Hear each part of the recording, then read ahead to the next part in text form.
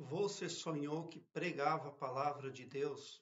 Tem uma pessoa que sonhou e compartilhou conosco, diz o seguinte: Sonhei pela madrugada que estava no lugar, tipo uma feira, e do nada comecei a pregar a palavra. Eu não lembro o que era e disse que Deus era o único e suficiente. Suficiente Salvador em nossas vidas, pregando a palavra cristã e exaltando o nome de Deus. Hoje eu acordei com a garganta doendo, parecia real. É, quando você se prepara para dormir, umas duas horas antes, você deve acalmar a sua mente. O ideal é utilizar uma meditação. E antes de dormir, não falar nem sobre Bíblia, nem sobre assuntos polêmicos, não assistir filmes de suspense, nem de terror, nada para não agitar o seu mental. Por quê? Porque quando o ser humano deita para dormir, o perispírito, que são os corpos súteis, se desdobram do corpo, eles saem. E eles podem dar continuidade àquilo que você estava fazendo antes de pegar no sono. Se você estava assistindo filme de terror, eles vão procurar lugares de terror. O perispírito vai em busca de lugares assim. Se você estava falando de aborto, assuntos polêmicos, seu perispírito tende a procurar lugares polêmicos. E daí você pode ter uma perturbação aí com o seu descanso.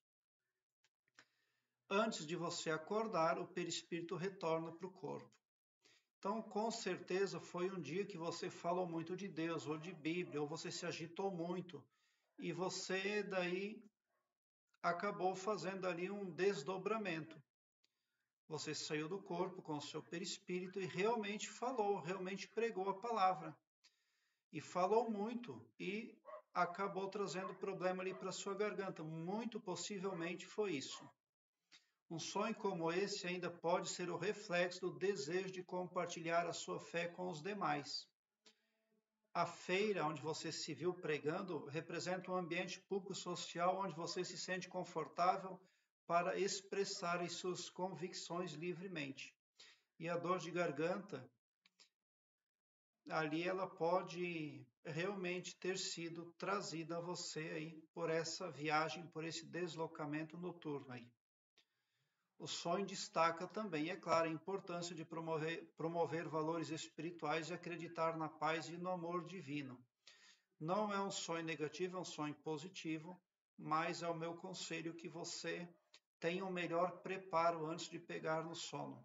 Aquietar a sua mente, aquietar o seu mental, para que você ali não tenha agitação de nenhum tipo. Para que você possa dormir, relaxar e o seu perispírito também. Prezado internauta, eu quero que você largue um belo sorriso no seu rosto, porque quando você vem para o meu canal, o seu pavilhão mental vai clareando mais e mais à medida que você se permite ser iluminado. Porque o escopo espiritual do meu trabalho aqui no YouTube prospecta o bem para todos, indistintamente o amor cristão, e não todo poderoso só para um, ou só para mim, ou só para um grupo de pessoas.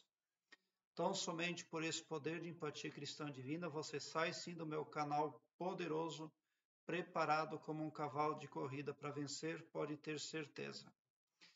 Obrigado por seu like, se inscreva no meu canal e ative o sininho para me seguir, porque quem me segue, segue o bem.